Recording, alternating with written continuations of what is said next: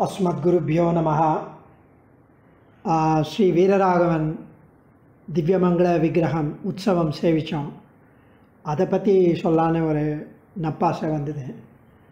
திரும திருமங்கையாழ்வார் பெரிய திருமொழியில் சேவிக்கிறார் பந்திருக்கும் மெல் விரலால் பாவை பனி மலரால் வந்திருக்கும் மார்வன் நீலமேனி மணிவண்ணன் அந்தரத்தில் வாழும் வானோர் நாயகனாய் அமைந்த இந்திரர்க்கும் தம்பெருமான் எவ்வுள் கிடந்தானே பனிமலரால் பாவை குளிர்ந்த தாமரை மலர் மேலே இருக்கிற மகாலட்சுமி அதை விட்டுட்டு தானே வந்து தங்கும்படி அழகிய திருமார்பை உடையவன் இந்த எவ்வுள் கிடந்த ஸ்ரீ வீரராகவன் அப்படின்னு திருமங்கை ஆழ்வார் சித்தாந்தம்.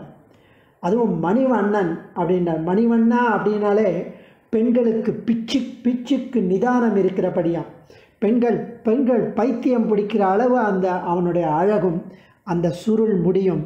அந்த அந்த கொடி மூக்கும் விரி அகன்ற கண்களும் கரியவாகி புடை பறந்து மிளர்ந்து செவ்வரியோடிய நீண்ட பெரியவாய கண்களும் அவனுடைய அந்த நீலமேக சியாமளமான அழகும் எம்பெருமானுடைய திருமேனி அழகுதான் பெண்கள் கோபிகைகள் அவனை விரும்ப காரணம் அப்படின்னு சொல்லுவாள் ஸோ கண்ணா நாங்கள் மட்டும் உன் வடிவழகில் ஈடுபடவில்லை. எங்களை விட சிறந்த மகாலட்சுமியும் பார்க்கடல்லேருந்து வெளில வந்ததும் நேராக உன் மார்பில் உட்கார்ந்ததுக்கு காரணம் உன்னுடைய வடிவழகு தான் சும்மா சத்தியம் ஞானம் பலம் ஐஸ்வர்யம் வீரியம் சக்தி தேஜஸ் இந்த குணங்களுக்காக வரல.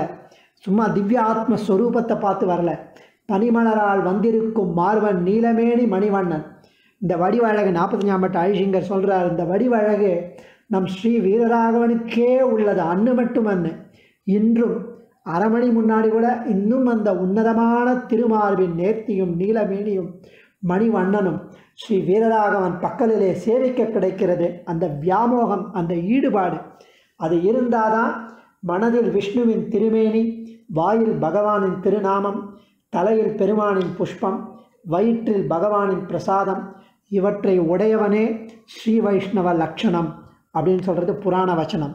அதெல்லாம் நம்ம அட்லீஸ்ட் இன்றைக்காவது ஃபாலோ பண்ணோம். அடியேன். அஸ்மத் குருபியோ நமக தன்யோஸ்